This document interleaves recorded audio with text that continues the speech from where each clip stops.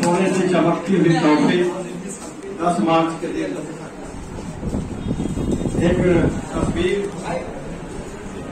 पंकज जी रमन जी जी राजेश जी से निवेदन है स्वतंत्र बाबू से भी नायक पाठक से भी कि आप सभी आकर के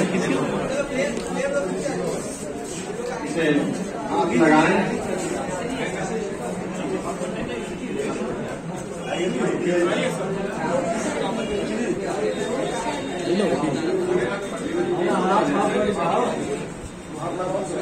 सभी लोग हाथ लगाएँ।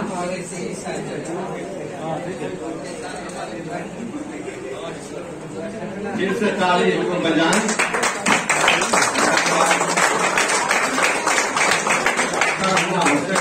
अरे बैठिए